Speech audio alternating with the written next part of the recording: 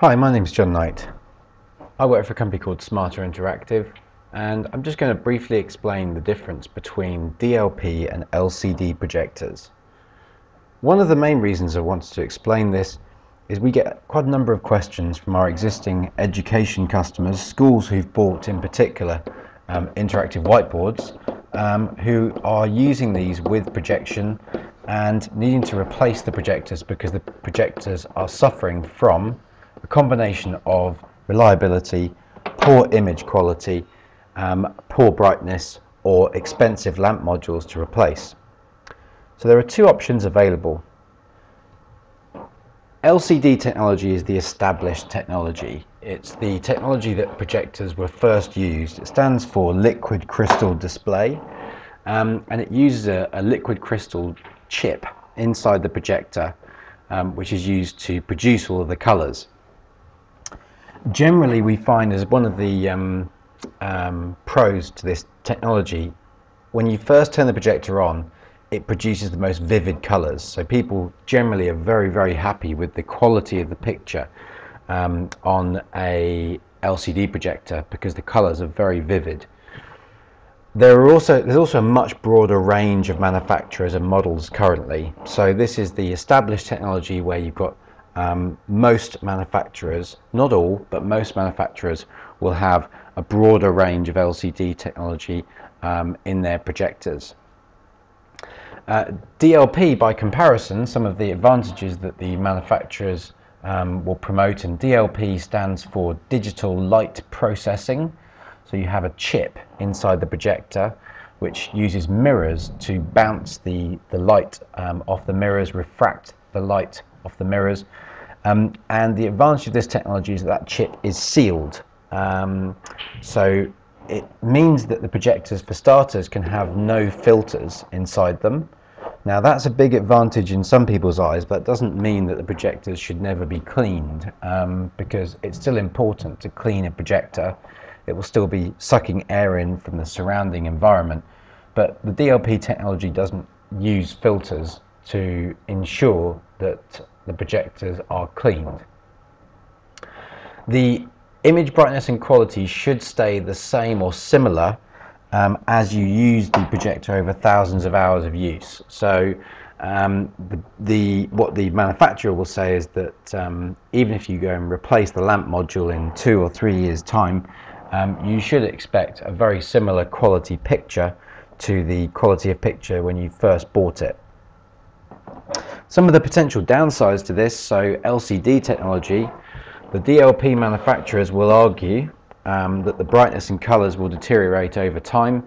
Um, and we've certainly seen um, from our experience this happen, um, but I'll come on to discussing that a little bit uh, in a moment. Um, whereas the LCD manufacturers, by comparison, will say that um, this is the DLP technology is newer technology and produces a less vivid picture when the projector is brand new. Um, how do you decide? Well, the first thing is how many hours are you going to use the projector for? So if, for example, you are planning to use your projector for three hours per week, um, you're not going to notice any deterioration in any of these projectors for at least two to 3,000 hours. Because the technology in, in both LCD and DLP is good enough now to ensure that neither manufacturer uh, or neither technology is going to notice significant drop-offs for a, a, reasonable period of time. So what this means is that if you're using the projector for three hours per week, then um, you're going to uh, have a long time before you need to actually even worry about the, um, the quality of the picture deteriorating. So three hours per week um, over, say, a two-year period, for example, you're still um, going to be a long way away from worrying about um, the amount of uh, time that you've used the projector for and the quality of the picture. If, however, you are using the projector for 30 hours per week, then obviously you're going to start to hit the 3,000 hour figure within um, 18 months to two years.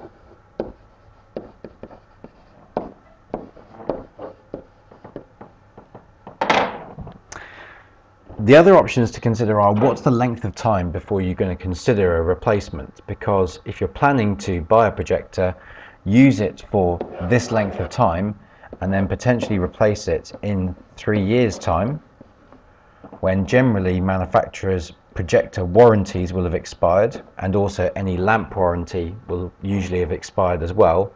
So if you're planning to replace in three years time then you may find that you don't need to worry too much about whether it's a DLP or LCD projector. And you may say, well, in the last six to 12 months of my three year period, I'm prepared to accept a small uh, deterioration in image quality in exchange for the deal that I'm getting buying this particular LCD projector.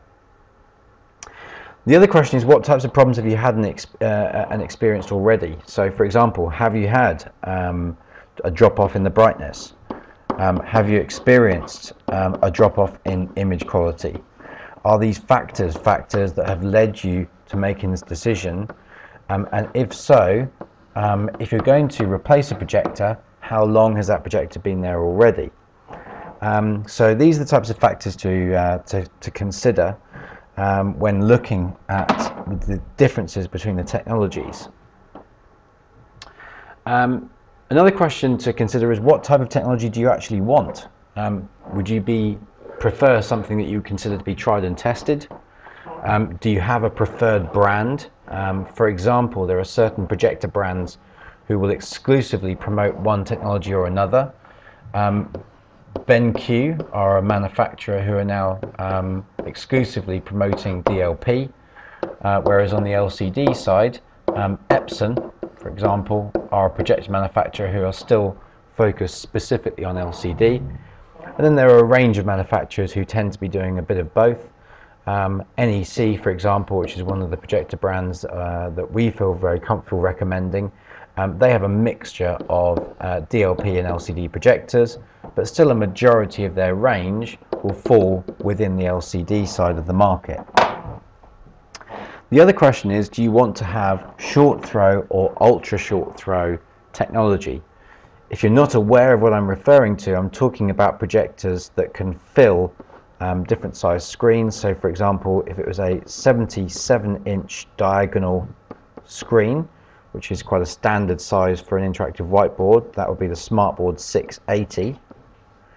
Um, if it's a 77 inch diagonal screen, you can get short throw projectors that will fill that screen from less than one meter or you can get ultra short throw projectors that will fill that screen from 30 to 40 centimeters.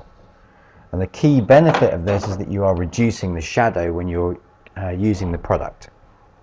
But a majority of certainly um, ultra short throw, not all, but a majority of manufacturers tend to be using DLP technology for their ultra short throw projectors. And this is partially because the projectors are designed for use with interactive whiteboards and therefore they know the usage is going to be high. So these are some of the choices. This is, this is an explanation as well of what some of the different options mean. Um, if you'd like more information, advice or pricing, please feel free to either visit our website or give us a call and we'd be happy to discuss these options with you um, and discuss a projector replacement strategy for your organization.